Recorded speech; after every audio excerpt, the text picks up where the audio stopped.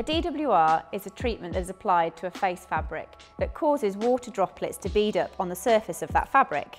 Without a DWR, most outer face fabrics will absorb water or rain. The DWR's main function isn't to keep you dry. It's actually there to make sure that the membrane from underneath is still able to breathe and move moisture. Keeping the face fabric free from standing water allows the membrane to move moisture to the outside without encountering any barriers such as standing water that's soaked into the face fabric.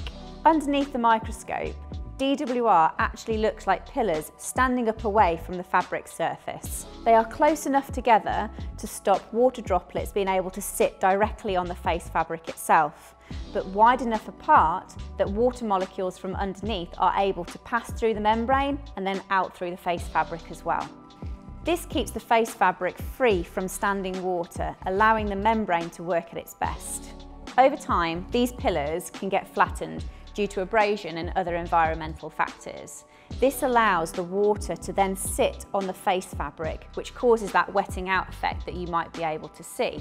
If your garment wets out, that can really reduce the product's breathability. So it's really important that we maintain the DWR on that product to get the best out of it.